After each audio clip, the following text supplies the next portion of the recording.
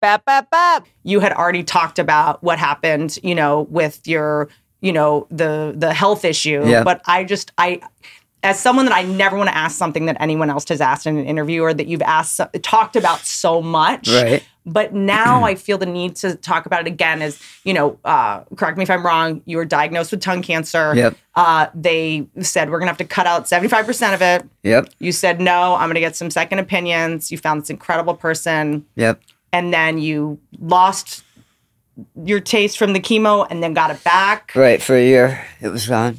Already, am- already amazing, but I want to just revisit that again because after COVID, all of a sudden, you know, that's a story that's already wild because like a chef lost his sense of Yeah. taste. But, yeah. At what point are you like, all right, God, I get, I get what you're like. Right. w- w- did it have anything to do with being a chef and taste like, or was that just a total co- crazy coincidence? Crazy coincidence. Never, no risk factors, no. That's like as a comedian, me Never getting cancer in my wrist where I hold the microphone. Right. Never smoked, never drank heavily, never, you know, no, nothing. No They- they have HPV n- cunnilingus. No HPV. They had no idea where it came from. And so now I feel like it's worth revisiting that and talking to you because, you know, the big thing about COVID was you lose your taste. Yeah. And there was this huge zeitgeist thing where all of a sudden there was a whole new Yeah. appreciation for your taste. Right. I, I guess people don't realize we've all probably had the flu. And, you know, you're eating your chicken soup, you can't taste it, Mm-hmm. right? The COVID thing really brought it to the forefront. Um, I apparently never had COVID. Really? I don't, I feel like karmically you paid your I- dues in the health department. yeah, They're like, we'll spare him on Yeah, this round. He's already lost his taste. Yeah, let's not be assholes about it. right. Yeah. So, you know, Was no, it weird to hear people complaining about that after what you went taste? through? Yeah.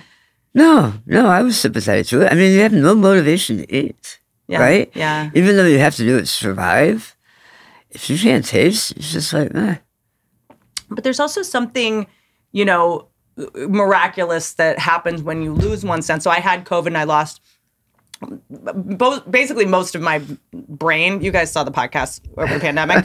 I got like the brain fog and I couldn't remember things. I, I lost my taste and smell. But it is kind of amazing the like did you find there was any magic in the other senses that got stronger as you lacked that and were building up I definitely paid attention to the other senses to make up for it. Yeah. I don't know that they uh, got heightened. I just paid attention to them, you know? That's so interesting. I would listen to food. Sounds a little weird. whoa Yeah. I know.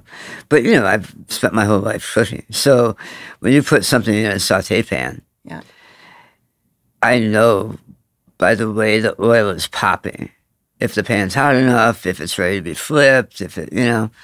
So you really start paying attention to that stuff. Thank you.